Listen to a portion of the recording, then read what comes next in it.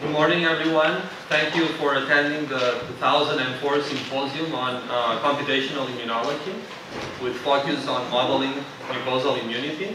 The symposium is part of a week-long summer school in modeling mucosal immunity designed to introduce immunologists and infectious disease experts to computational modeling techniques. The summer school and symposium are being offered by the Center for Modeling Immunity to Enteric Pathogens at Virginia Tech, one of four centers of the NIAID-funded Modeling Immunity for Biodefense program.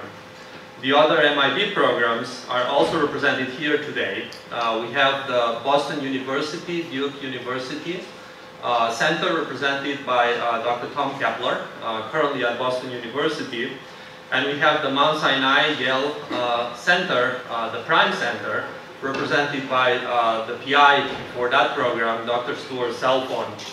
Um, fortunately, the Rochester uh, team could not be here today. We also have uh, some uh, other distinguished speakers from MIT and, and, UVA, and I'll introduce the first speaker later. first, I would want to make some remarks related to the week-long summer school during this week, we have discussed at length types of computational modeling applied to understanding immunological processes, both uh, ordinary differential equation-based modeling as well as uh, agent-based modeling, uh, specifically how to model uh, massive interacting, uh, interacting systems.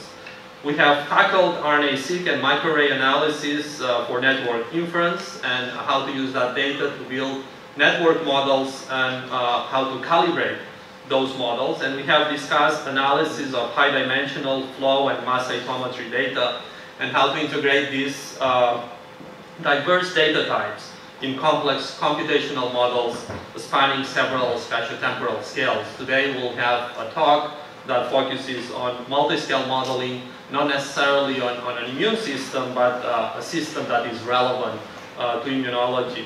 It has been a very productive week, combining theoretical and data-driven approaches in an iterative cycle of modeling, hypothesis generation, and experimentation uh, using abductive reasoning and systems biology cycles.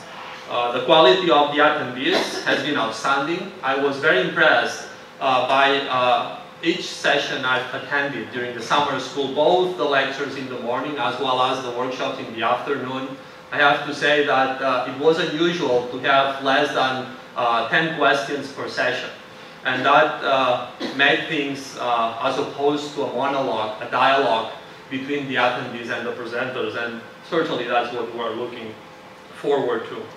Also, I wanted to uh, remind you that this afternoon we'll announce the recipients of the graduate student uh, postdoc uh, poster awards.